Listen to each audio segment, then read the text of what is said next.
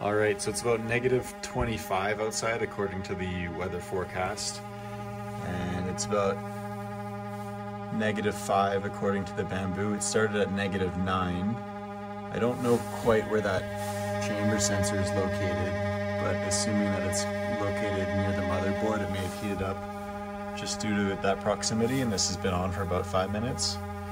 Um, but we'll see how some tests come out. Uh, at these colder temperatures.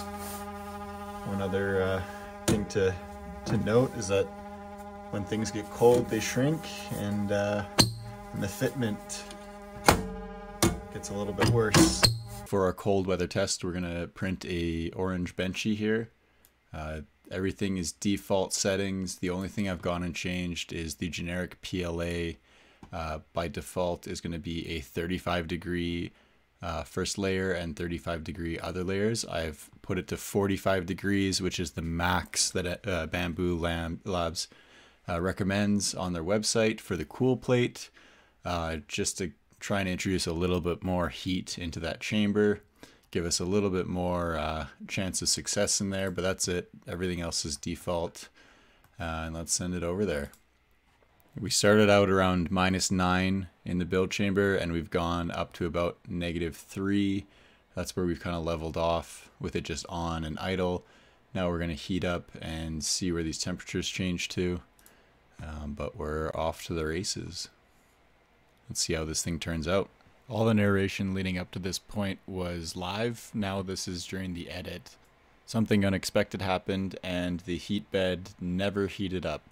I left it on for 20-ish minutes, changing the temperature, going from 10 to 20 to 30 degrees to 45.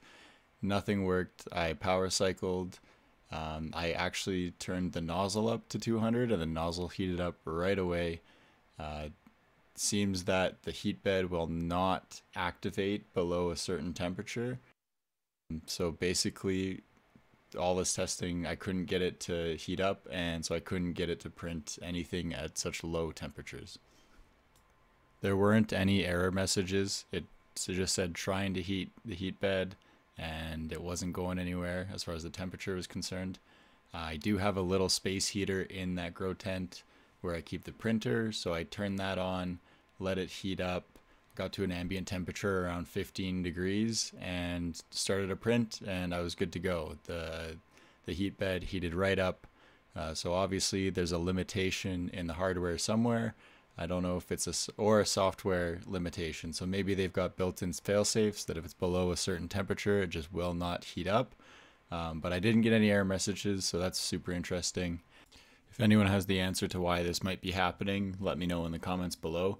But that answers can the X1 carbon print in freezing temperatures? And the answer is no. Not according to this test.